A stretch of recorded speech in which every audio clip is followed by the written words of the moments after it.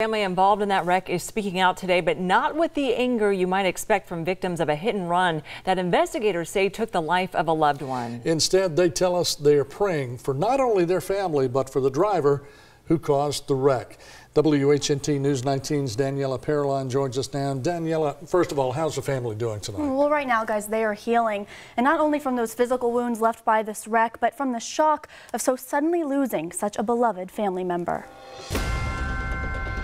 For Jane Osgood, the wreck that took her father's life happened in a blur. We're on our way back, and I remember seeing the Space Shuttle Welcome Center. Next thing I know, I hear a loud thump, and we're kind of flipping like.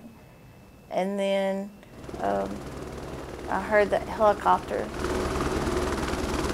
After spinning out of control, the family was left trapped in their SUV. 69 year old James Shaddy had been thrown out of the vehicle. I could hear my mother in law and my daughter in the back seat groaning and stuff, but I couldn't hear, I couldn't see my dad, and he was sitting beside me. When she woke up in the ER, Osgood was told her father had died at the scene, and whoever caused the wreck never even stopped. At that moment, anger could have been easy, but all I could think of was to pray for that person because I can't imagine the turmoil that they must be going through. Osgood remembers her father as a faithful man.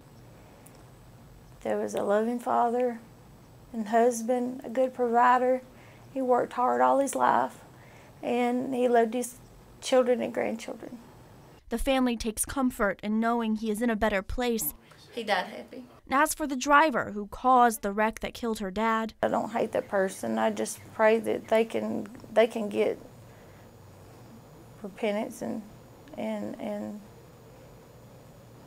be forgiven. I forgive them. I forgive them right now. The Osgood say several families who were also driving up from Athens last night saw a dark truck speeding down the highway. Some even say they had to pull off the road to avoid that truck. If anyone knows who that driver may be, you are encouraged to contact the state troopers or local law enforcement. Guys.